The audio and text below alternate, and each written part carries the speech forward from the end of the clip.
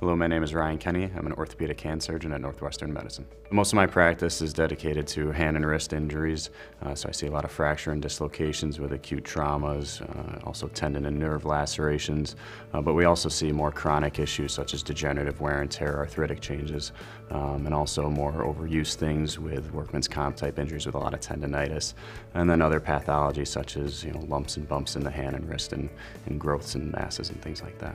My approach to patient care is, a little bit cliche, but it tends to work. It tends to, you know, look at every patient as if they're a close family member or a close friend, uh, giving everybody the appropriate time of day and the time uh, to listen to them and really uh, find out what they're there for and what they're looking for in their ultimate care. With me joining up with Northwestern Medicine, I think it's given me an opportunity to join with a, uh, a team of, of other physicians and subspecialists that have a great reputation. Um, ultimately, you know, putting patients first, which is Northwestern's motto uh, that's something I, I really uh, you know agree with and, and, and try to uh, base my practice off of as well. Um, it opens a lot of doors for uh, my patients and my practice to have access to other subspecialists and groups that we may not have had. So I chose hand surgery uh, ultimately because of my draw, you know, towards the, the vast amount of pathology and, and, and other problems that we can see with hand surgery.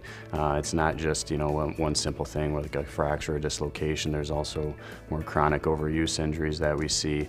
Uh, so it's a very variety of, of day-to-day -day things that I see with our patients coming in. Uh, so it gives me a large scope of practice uh, to treat. And it's always just drawn my interest. It keeps me excited every day to come to work. Um, and I enjoy it.